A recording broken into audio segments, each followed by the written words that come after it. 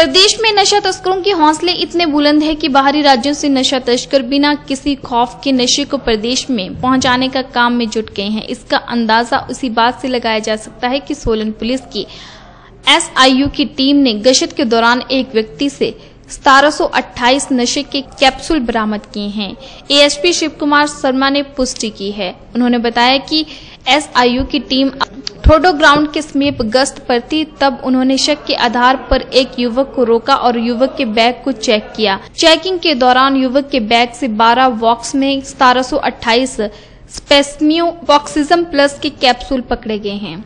युवक की पहचान 25 वर्षीय सचिन कुमार के रूप में हुई है, जो कि यूपी के जिला सामली के रहने वाला है। सोलन में वह क्लीन में रहता था और फेरी लगाकर कंबल बेचने का काम करता था।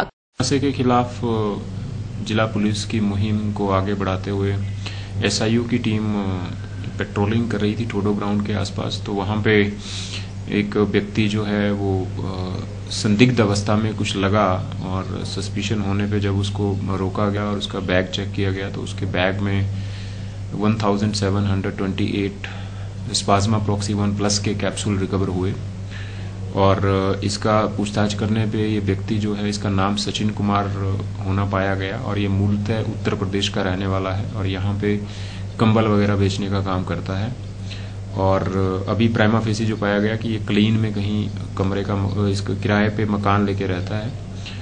इसमें एनडीपीएस एक्ट के तहत केस दर्ज किया गया है। इस सचिन कुमार को गिरफ़्तार कर लिया गया। और फर्दर इन्वेस्टिगेशन चल रही है।